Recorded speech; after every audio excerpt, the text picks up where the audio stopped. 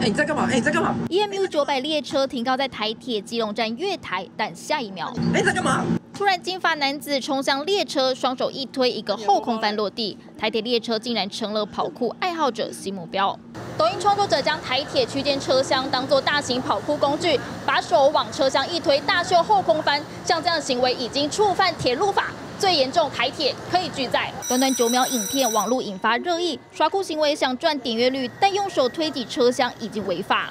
当天经查，民众在搭乘一二八一次列车之前，于候车的时候，从月台上做了一些就是有嬉闹或者是跳舞的动作。那当然这个部分的话，事后我们已经报请铁路警察，针对画面会约谈当事人到案。那如果说有违反铁路法，或者是甚至有所谓的对于我们的车体有进行一些破坏的部分的话，我们都会依法就责。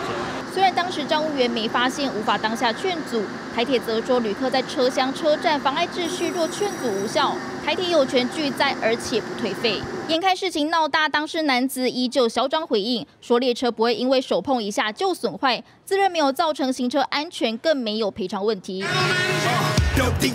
抖音上自称跑酷少年团，拥有一万多名粉丝，不止把台铁当舞台，连北捷都有他的身影。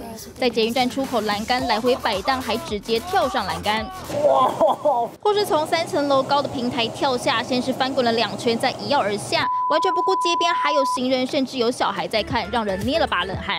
虽然户外跑酷没问题，但挑战大众运输工具，一旦违规就可能让自己吃上罚则。竞选徐伟成同样云采访报道。立刻下载“静新闻 ”App，一手掌握新闻时事，尽善尽美，尽好新闻。